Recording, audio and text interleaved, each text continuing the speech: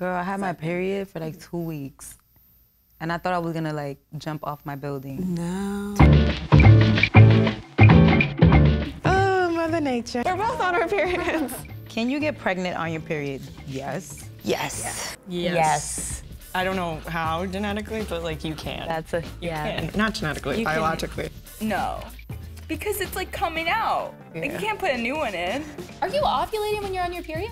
Probably not. slim chances, but Yeah, it can happen. yeah, Everybody's absolutely. body's not the same, so I wouldn't trust just because you know it didn't happen to her. It says it's unlikely that you'd get knocked up from having sex on your period, but not totally impossible since sperm can stick around for a few days. Damn sperm. Yeah. it makes sense. Mm, I don't trust that. you don't trust the experts. Can stress mess with your cycle? Completely, yes. I feel like stress feel can like- mess with everything. Yep. I feel like stress has messed with my cycle a lot. I think yes, for sure. Definitely has messed with mine before. Really, I'd like to say that I agree, but there have been times where I've been super stressed out and I never was blessed by missing a period. Yes. Because when I'm worried about getting my period, I don't get my Doesn't get it, yeah.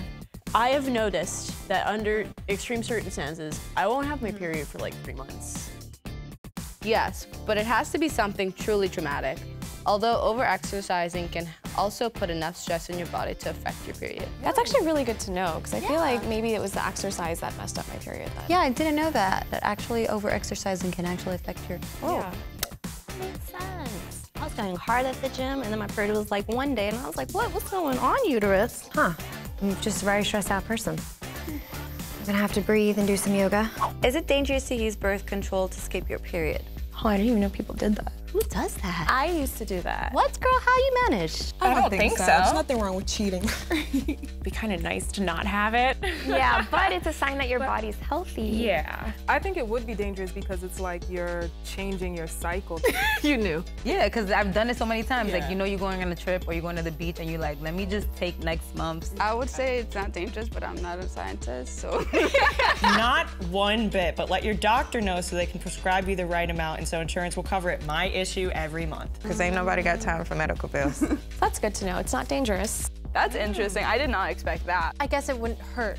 It's not a bad thing to be on birth control. Yeah. It's probably a better thing. But like find the one that like works for you. Yeah. Do you have to avoid certain exercises during your period? Exercise is supposed to help when you have like periods and cramps. No, I, I'm gonna say no. Yeah, I don't think so neither. I do everything at the gym. Actually, I have more strength. So. My personal experience, when I've done like a lot of cardio or if I've done like abs in the first couple days, I end up with really, really bad cramps. There are a lot of times where I'm on my period where the pain is so bad I can't stand up, so I'm not about to go to the gym. It goes only inverted yoga poses, shoulder stands, headstands, and the plow pose, which can cause more cramps. Well, I can't do any of those, so that's not an issue for me. Oh, it can cause more cramps. That I makes would think like, oh, Yeah. okay, you'll faint. Yeah. I mean, it makes sense because it's trying to come out, you're upside down, and I think so, right? Yeah. I don't do yoga, so uh. so then you're good.